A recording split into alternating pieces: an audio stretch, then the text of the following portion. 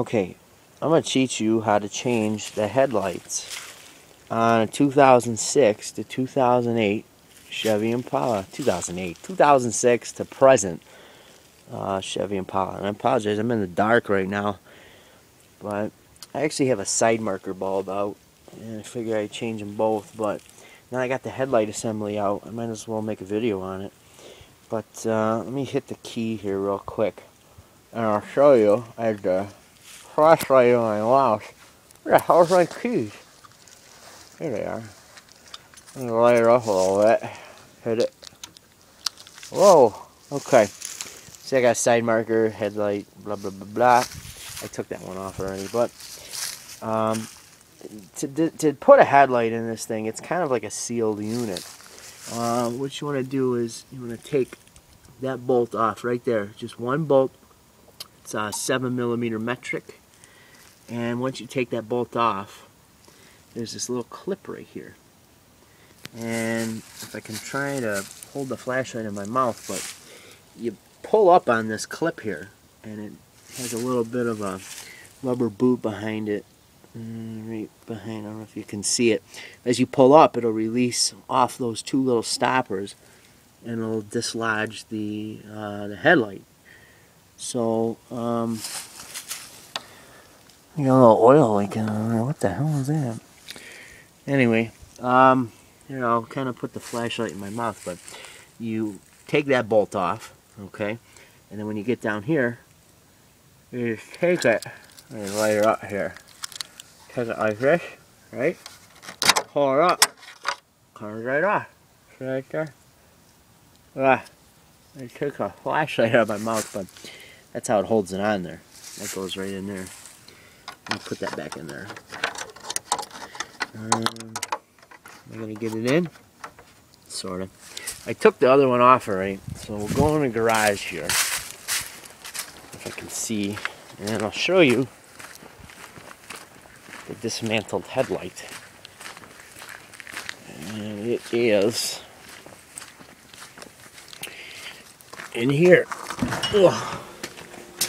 Whoop. Hit the door. Okay. This is dismantled headlight right here. Let me shut the flashlight off. And basically the design, throw my keys there. This headlight's pretty big, but as you can see, it's the turn signal bulb, high beam, low beam, and the corner light. Now the design on this, see, let me show you. That's where the stoppers were. If it were in the, you know, the car, that's where that plastic clip was that held it on. Of course, there's the hole where the bolt was. But if you flip it upside down, a lot of these cars, this is kind of hard for me to flip around here, but let's put on this can. This is upside down.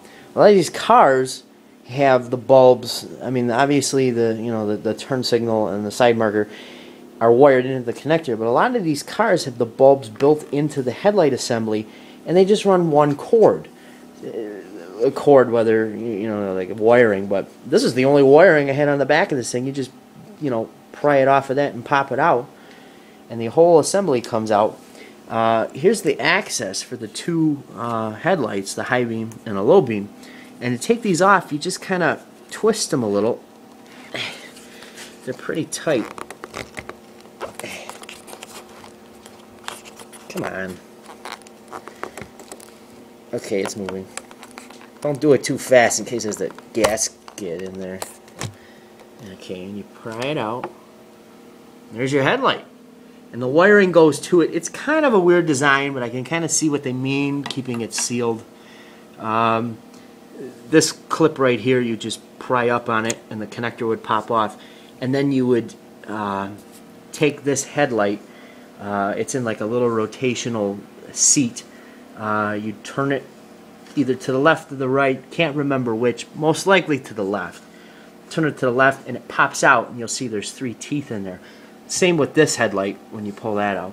I actually don't have to screw around with the headlights at all. I just got to replace that little bad boy right there and I'm doing it in the dark. I gotta take this car tomorrow, so I'm trying to put this back on. But when you put it back on, there is a very tight gasket on here. The teeth are the same just kind of put it back in there and turn it kind of slow. Don't break anything. A little pressure is needed. There. But that's the headlight. I'm going to try and take out, let me see, that bulb I got to replace. And I bought a pair of two. Now, if you ever replace headlights or any bulb whatsoever, a lot of people will say you should replace them in pairs. Well, they're right because 99% of the time, if one goes, the other one's not too far behind. Um, I had a headlight blow out once and I replaced it with one and then as I left the next day, the other one blew out. So uh, on this one, same scenario. It's all in a twist lock, so I just want to take this and twist it to the left. If I can get it out while holding this. Probably not. Oh, no, there it goes. Come on. They flip upside down. There it is. I'm trying to turn it. Ooh. There we go turn and it pries out. And there it is. That's your standard 194 uh, signal bulb. And uh, don't touch it with your hands. Obviously, if it's bad, you can pull it out with your hands. It just pries right out. But if you've got a pack of new ones, which I have right there, don't touch them with your hands. The oil actually reduces the life. Don't really know the specifics. Even says it on the back. Use gloves.